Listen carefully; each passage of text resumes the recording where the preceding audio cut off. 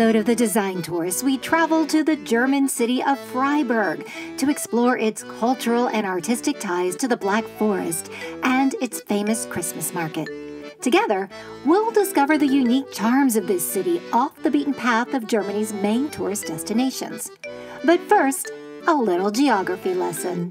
Freiburg belongs to the state of Baden-Württemberg, and it was founded in 1120 at the foothills of the Black Forest. It's the southernmost major city in Germany with a youthful energy populated by 33,000 students who attend the university. Freiburg gets its unique character from sharing its borders with France and Switzerland. I chose to stay in style at Park Hotel Post for its great location and authentic ambiance.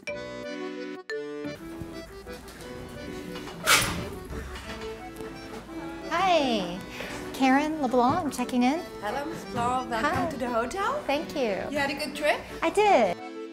The hotel has a literary theme that celebrates the many authors who've stayed there over the years.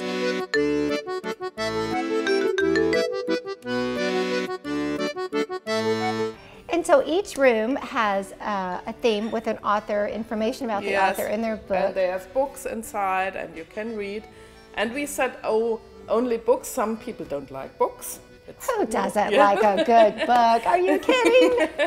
So we said we want to show the people um, some of our region because our region is very beautiful. Mm-hmm. And so each uh, floor has its own region. The third floor is Freiburg. okay. The second floor is Kaiserstuhl and Markgräflerland, that's the wine region. Mm-hmm. And the first floor is the Black Forest. In every corner of this hotel, there are great authors and books, and I love the way the hotel connected me to Freiburg. I really got a sense of the history and the heritage and the culture. And for book lovers, I gotta say, this is the perfect place to stay. I'm standing here in the lobby in front of this bookcase full of books signed by the author. These are authors who stayed here at the hotel, and you can come and pick a book of your choice. Here it is signed, and you can read the book during your stay. The hotel's decor captures Freiburg's character and instantly connects me with the city as I head out to learn more with my guide, Franziska Haller, a Freiburg native with an impressive command of the city's history.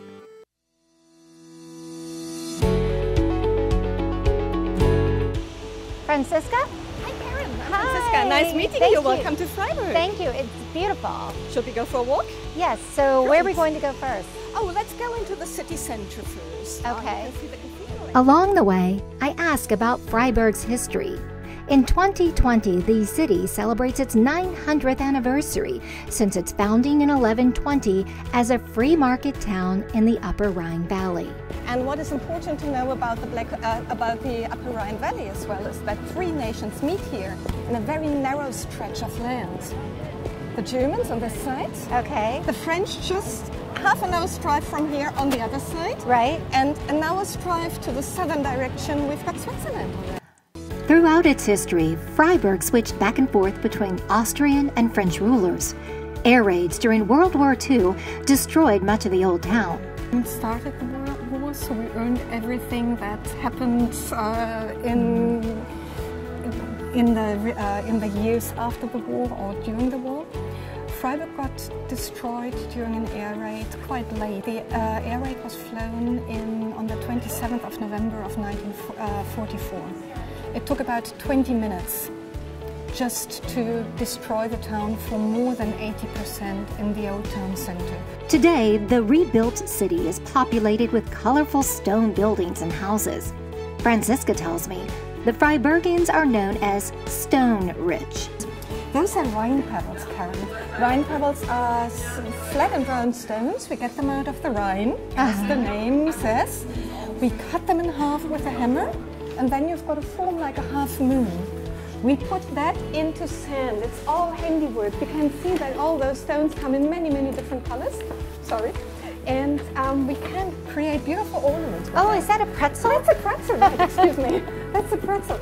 Shop owners pay for the pebble medallions at their storefronts as a form of advertisement dating back hundreds of years. This is fun. It's like a game. Let's see what It else we can it find. There's one available for sale.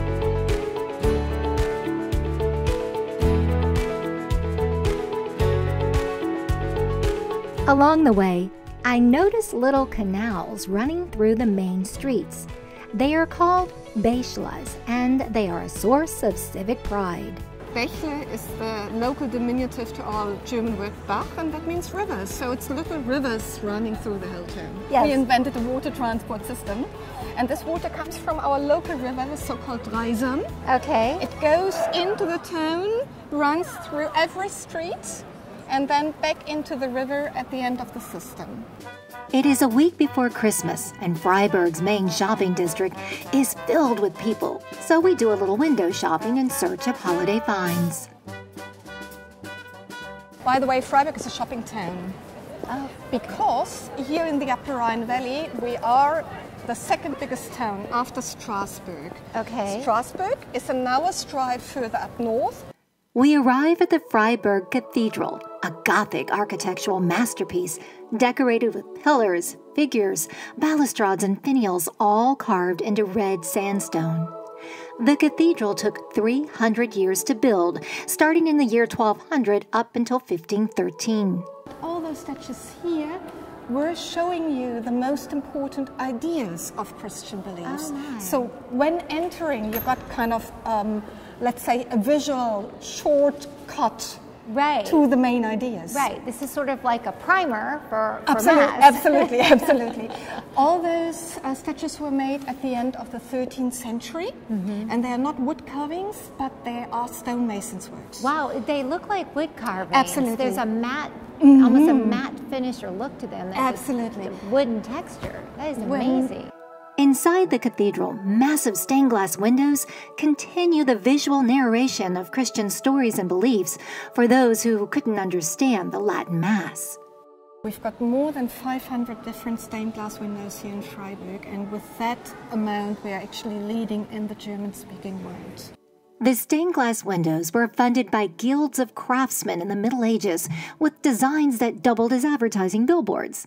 The tailors, the bakers, the blacksmiths, they all commissioned stained glass windows depicting religious scenes with a little self promotion. The ones who had money Mm-hmm. and power and wanted to show that as well. Here in the societies of the cities were actually the guilds of craftsmen, mm-hmm. next to the university, of course, as well, and the local rulers. The guilds of craftsmen decided to donate the money for our stained glass windows. And you can actually tell which guild donated which kind of window ah. because they all put their coats of arms oh my into the lower parts of the windows. During the Second World War, the citizens of Freiburg were able to save the stained glass windows from destruction. Fortunately, here in Freiburg, we decided to take the old stained glass windows out of the window openings already in 1939. Oh. So we took them out. Oh, my We packed them in boxes. We stored them in the lower parts of the eastern towers, which are quite strong parts to Right. the building, and then we prayed it out. Around the cathedral, there was hardly any building left after that air raid that had survived. But the cathedral just suffered one little bomb down there, up there, which didn't explode. So it just ruined a few tiles. Wow. And after the Second World War, we could unpack our boxes and put the windows back into the Wow. The cathedral was the heart of the city where commerce and social life converged around the market. You can still see the bread shapes used as measurements in medieval times carved into its sandstone walls. If you uh, went to the market and bought a loaf of bread and you had the impression that actually the baker had cheated on you, Okay. you could come here and control the size of the bread. So you could check the size of the bread so you weren't Absolutely. ripped off by the town absolutely, baker. absolutely. The Black Forest foothills reach down into the city and influence its culture, food, and folklore. One of two town gates, the Swabian Gate, leads to the Black Forest and Freiburg's Swabian neighbors. So we head to Freiburg's annual Christmas market in search of design finds and regional crafts from the Black Forest. So, what is the history of the, the Christmas market here in the city? Well, um, the Christmas market, market started first in 1973, so quite a long time ago. And they started with 20 stalls. Today they have 129 different stalls spread here in this part of the town. The Freiburg Christmas Market is the place to find artisanal products and handicrafts from the Black Forest, including blown glass ornaments, felt items, and woodworks. The tradition of carving uh, masterpieces is something that is very important to the Black Forest. So there's a lot of woodworkers, absolutely. uh, craftsmen that work with wood from the Black Forest. Uh, those are the typical traditional shoes. You get them in the Black Forest. So they are traditionally made in the Black Forest. They are all handiwork. And um, all the, um, the materials are actually natural materials. Um, normally, traditionally, they were made out of straw. Right. Today they use sisal because they can't get the long straw anymore that easily. But still, it's all handiwork, all natural uh, materials. And the interesting thing is that they are called witches' shoes as well. Witches? Yes, shoes? like the witch. Oh my goodness. Um, they look so friendly. yeah, they do, they do. And the beeswax is original from the Black Forest, so from here. Can I touch one? Darfst du die anfassen? Yeah? So this is Mm, the aroma. This is so nice.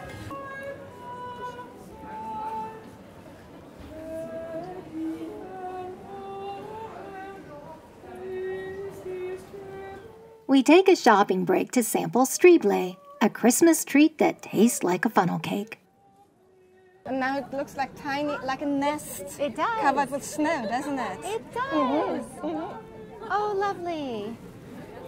Here you go, Karen. Thank you. Thank you. Vielen Dank. Dankeschön. Frohe Weihnachten. You see it's getting crowded. As night falls, the Christmas market comes alive with twinkling lights and crowds of locals gathering to socialize and sip spiced German wine, another local specialty. Before we end our shopping trip, Franziska wants to take me to the Stone Cutter to experience a popular local Christmas tradition. Each holiday season, families go to the Stone Cutter to pick out a stone in hopes of finding a crystal surprise inside. So, I pick out my stone. And what kind of stone is this? When you have luck, there's a cave inside. Oh my gosh! Wow! wow! It's gorgeous. Thank you. Thank you. That night, as I head back to my hotel, a mountain breeze blows into the city, circulating the delicious smells of roasted spiced nuts and fresh baked pastries. The scene is magical. I'm exhausted, yet I feel so alive with the anticipation of tomorrow, another day exploring Freiburg. The next morning, I meet up with another guide, Bernard Mueller. Our plan is to shop the farmers market around the cathedral and then visit two of Freiburg's notable museums. Well, thanks for introducing me to Ben, the manager of the market. So I thought we'd take a stroll. I wanted to learn more about the marketplace around the, the cathedral. This market combines uh, regional produce, like vegetables, fruit, and stuff. But we also have, uh, as you can see in the background, we have uh, handcrafted goods, like made of wood. Um, then we we have regular traders. This market, if you live in the city, this market is it's the heart of the city. It's something that, that every pretty much every Freiburg person can relate to. We start with a breakfast of Freiburg's famous sausage. So this is a Freiburg classic. It's the Freiburger Lange Rote, the long red sausage. Um, that's among the people of Freiburg is an absolute classic. Can I, I was going to ask how I, I eat such a long sausage on a small bun, but we fold it over. Aha! There you go. Enjoy. Lovely. Thank you. The farmers market functions as the city's grocery store, where local farmers, producers, bakers, and artisans all come together to sell their produce, foods, and products.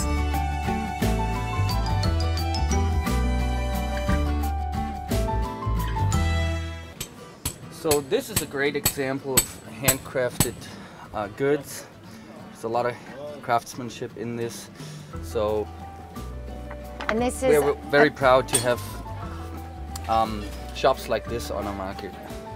Ben is talking about the iconic Christmas cookie molds, a popular German holiday tradition, and a product to purchase if you're looking for authentic products to the region.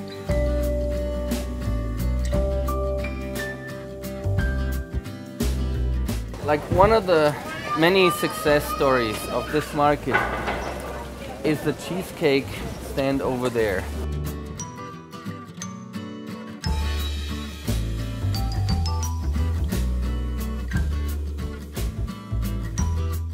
Time for a coffee break with our cheesecake as we chat about what it's like to live in Freiburg. Along the way to lunch, Bernard stops to brag about the Bächles. I told you these little canals were a source of civic pride and apparently sanitary. This actually is water that comes from the Black Forest. This is really clean water. I mean, I can show you. And as you see, I don't drop down. It's absolutely fresh water. He recommends a food court located in the city's old newspaper building. I decide on a German pasta dish.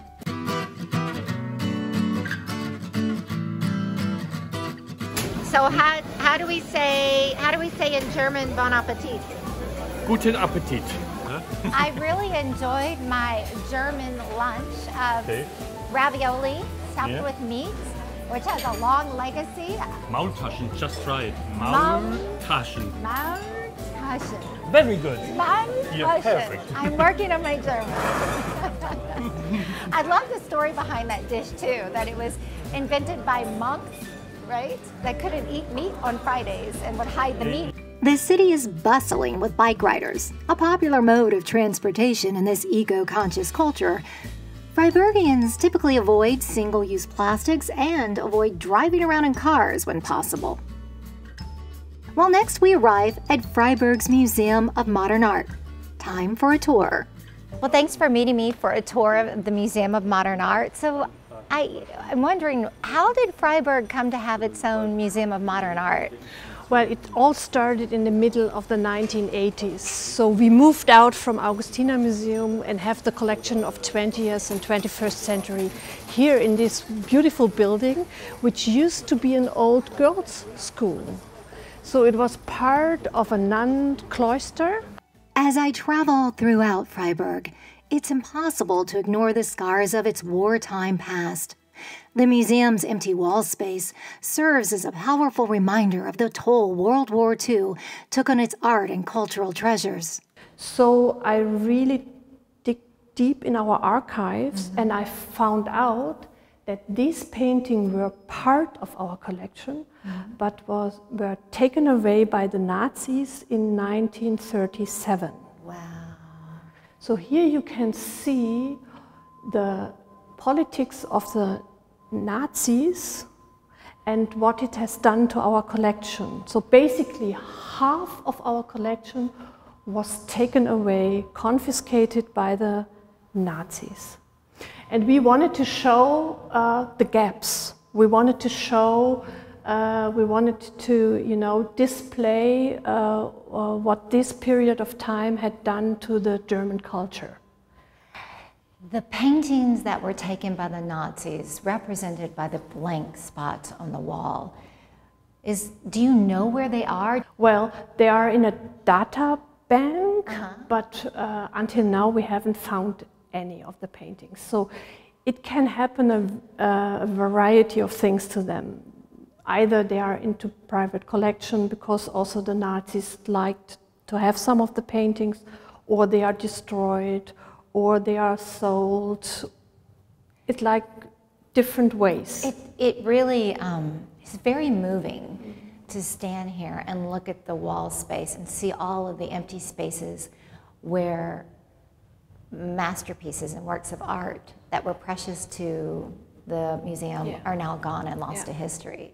The museum's permanent collection consists of celebrated German artists, including Max Ernst, August Macke, and a famous sculpture by Wilhelm Lehmbruck named Ascending Youth. So when you're invited to sit next to Max Ernst, Oh my, what a uh, privilege to be so yeah. close. and the idea behind this is, as you just do it, to sit like next to a good friend. Mm-hmm. During my visit, the museum is hosting a special exhibit of Hermann Scherer, a prolific and controversial German expressionist artist who died in 1927 at the age of 34. I'm immediately drawn to his unconventional use of glowing, luminescent colors. I mean, his, his paintings have a, you know, almost a fluorescent quality to them that they glow. That's true, and they made a hundred years ago, and and I think that's his special technique. If you you know uh, go a little bit closer, you can see what he's done. It's oil painting, but it's not at all closed surface. He um, he used turpentine to uh, mix it into the oil, and this makes it more fluid, and this makes as if the pigments of the color come out of the uh, out of the painting, come on the surface of the painting. The exhibit features works from the last three years of Scherer's life, from 1923 to 1926, and includes his graphic wood sculptures considered scandalous during his time. So For in the example- States, we would call that R rated. Yes, it's R-rated. For example, like the mother and the child, right? It's Right. very radical, um, and it's very real. It's uh, nothing beautified, and at the same time, it's so beautiful. Scherer often painted both sides of his canvases to save money. He was poor and canvases were expensive, so he recycled them. The museum has opened up the backs of several of his paintings to show this. As I look at his paintings, you know, I wonder how his paintings were received during his lifetime because they're radical, they're unconventional. It's true. They were poorly received. Um, so he was maybe too radical. Um, he lived in uh, Switzerland, in Basel, and he's also, you know, much more known in Swiss than in Germany. But um, he was really radical at the time he did this. And we don't know, for example, uh, which persons are uh, depicted in the, in the uh, paintings. My discovery of artist Hermann Scherer's works reminds me of why I travel as a design tourist to feed my imagination and soul with beauty and creativity, and to get to know another culture through its artistic heritage. Nobody knew him, uh, and now um, you, you can have a, a look at him and see what he's done and see his colors. And I think that's also a very fulfilling part of my job. Next, we head to the Augustiner Museum of Art and Cultural History. Well, thanks for having me at the Augustiner Museum. I'm curious, how did this museum come to be? Oh, it's in fact the collection of the citizens. So in the 19th century, everywhere the people looked for artworks, they looked for their history, and they started to collect things. This former monastery was opened as the Augustiner Museum, and the name refers to the monks who lived here. These were monks of the order of St. Augustine. Okay. So let's go inside and Yes. let's hit the highlights. Yes, you're welcome. The Augustiner Museum showcases works ranging from the Middle Ages up to the Baroque period and 19th century paintings. We begin our tour in the main hall of towering statues. These sculptures are end of the 13th uh, century. And this is redstone? It's red sandstone, Red not like like the whole structure of the cathedral, and they represent the prophets. Gargoyles look at us from above, perched high around the perimeter of the main hall. Gargoyles, ugly and, and, and demons and so on, they show evil its own face and cause evil to flee from the holy place. And that's the function of, the gargoyle on one hand side. The other function is a technical one to spit away the water and to prevent, uh, to prevent damages by, by water. Well, I, I, That's very interesting to learn this because I always thought it how ironic that gargoyles were on churches and cathedrals, these ugly, devilish, yeah, yeah. in a place, a holy place, right? Yeah, I thought, well, that's ironic, but of course that makes sense. Restoration and preservation are major parts of the museum's mission. On this day, an expert is repairing cracks in the painting. Here we are in our collection of stained glass. Um, there are four rooms on two floors which exhibit stained glass. And we have one of the most important collections of medieval stained glass in Germany. So starting with glass from the end of the 13th century uh, and a lot of glass from the 16th century. And most of the um, stained glass comes from churches in Freiburg, especially from the cathedral. The ground floor features an archaeological exhibit of excavated objects buried or lost during World War II. So here we start uh, in the near present. So these are um, um, things which um, refer to the to the to the destruction of Freiburg by bombs in, in 1944. They have been found in the in the ruins, and this is uh, the mold of of a of the of a cellar floor. With uh, things the people tried to hide from the bombs in oh the cellar, like like silver uh, um, um, spoons or, or, or jewelry or uh, a little clock, not a beautiful, uh, beautiful va uh, vase and so. We end our tour with the museum's graphic art collections, housed in a modern building with a sculptural stairwell. This is one of our architectural highlights. It's in the new part of the House of the Graphic Collection. We call it the Kleinodientreppe, the, the stair of the little values or the little precious things. And in these displays we show very precious things. In the moment we have a wonderful collection uh, of old china, original Chinese porcelain.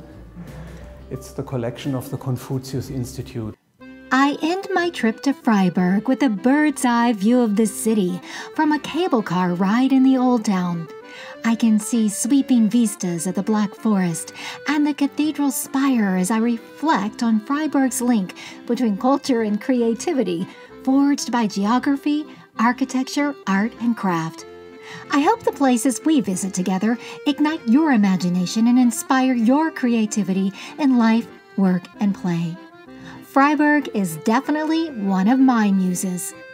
Until the design tourist travels again, stay tuned and stay inspired.